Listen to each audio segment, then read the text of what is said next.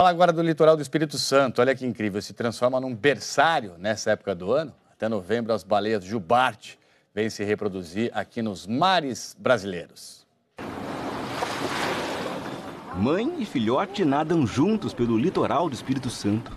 Os pesquisadores explicam que essa aproximação pode ser comparada a um colo que a mãe dá para um filho.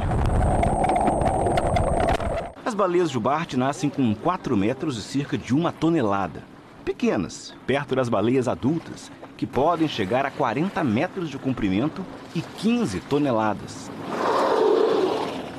Principalmente a fêmea, né?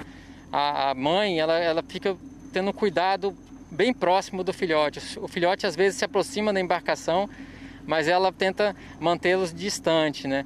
Então ela tem um comportamento de protetivo ali, né, com o filhote. E também a gente observa que é o momento de amamentação, né? Então é, é, o, é, é o único da, da, da, espécie que se alimenta, né? o filhote nessas áreas reprodutivas. O bebê jubarte mama até 100 litros de leite por dia e engorda 20 quilos diariamente.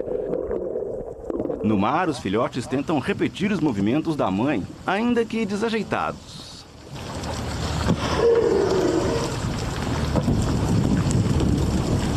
No inverno, as baleias jubarte saem da Antártica à procura de águas mais quentes para a reprodução.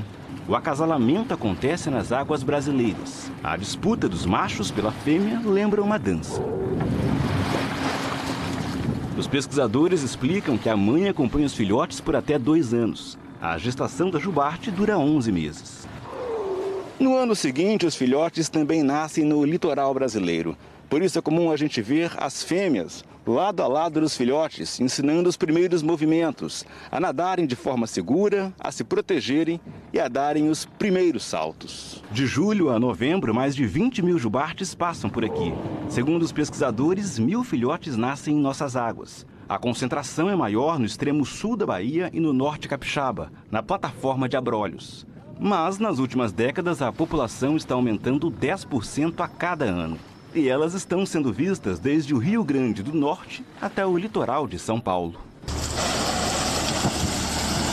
A gente teve uma, uma história de crescimento da população né, após o período de caça. Existiam mil baleias, menos de mil baleias, que foi essa população se recuperou. Então, a cada ano foi encontrando cada vez maior o número de, de encalhes. Mais de 40 jubartes encalharam nas praias brasileiras este ano.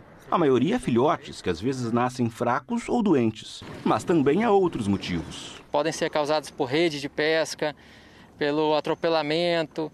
Então são, a gente sempre estuda isso, são, é, tem estudos de necropsia de, da causa da morte dessas baleias e indicam, podem indicar a causa dessa morte e a gente atua trabalhando para a redução dessas ameaças. Né? Preservar a vida das baleias garante o equilíbrio ecológico no oceano. Elas transportam nutrientes e carbono das regiões mais frias para as águas mais quentes. E ainda dão um espetáculo e uma lição de harmonia no mar.